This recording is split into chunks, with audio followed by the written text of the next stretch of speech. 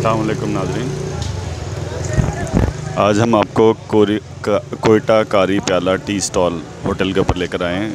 یہ اب پاکستان کے اندر ان کی گروتھ جو ہے نا، وہ فنومنل ہے۔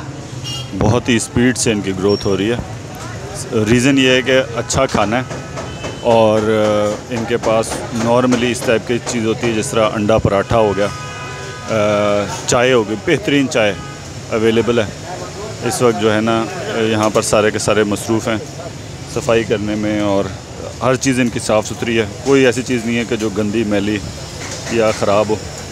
تو اس کے لحاظ سے یہ دیکھیں پراٹھے بن رہے ہیں۔ ایکسپرٹ ہے پراٹھے بنانے میں۔ تو چیک کریں کتنے کم ٹائم میں کتنے پراٹھے بناتے ہیں؟ ہاں۔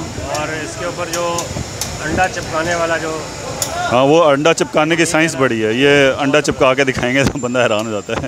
انہوں نے گلو علیحدہ سے رکھا ہوا ہے۔ آئیں، اب آپ کو آگے لے کے چلتے ہیں۔ یہ سارا مٹیریل کوئی ایسی چیز نہیں ہے جو کہ گندگی کی وجہ بنے یا خراب ہو یا جو ہے نا اس کا کوئی ایسا نقصان دہ چیز ہو۔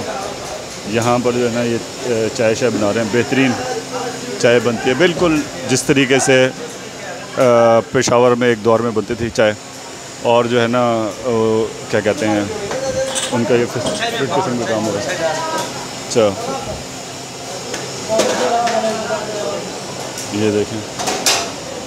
چائے ہو گئی، پھیکی چائے، میٹھی چائے، ہر طرح کی چائے اویلیبل ہے۔ اس کے علاوہ یہاں پر لسی بھی اویلیبل ہے اور چھولے جن کے بہت زبردست ہوتے ہیں۔ یہی ان کی مین وجہ ہے۔